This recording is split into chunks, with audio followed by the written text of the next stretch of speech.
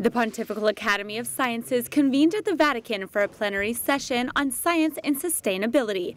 Among those present was Stephen Hawking.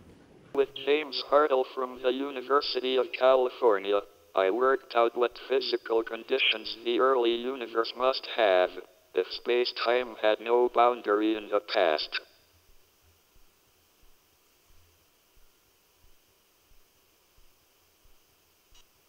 Our model became known as the no-boundary proposal.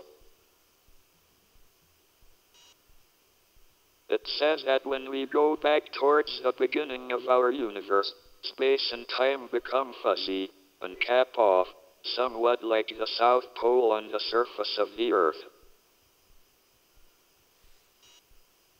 Asking what came before the Big Bang is meaningless, according to the no boundary proposal because there is no notion of time available to refer to. It would be like asking what lies south of the South Pole.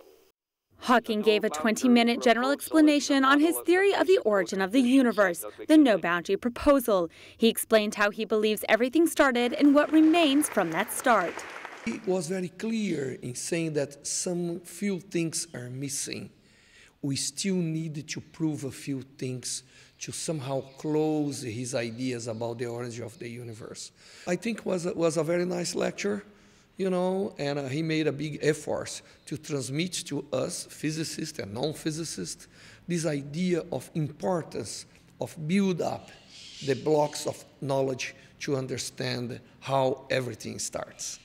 The Pontifical Academy of Sciences is the oldest scientific academy in the world, including even Galileo as a member. It thus has a reputation as a prestigious academy, combining different viewpoints to come to conclusions on human issues and mankind.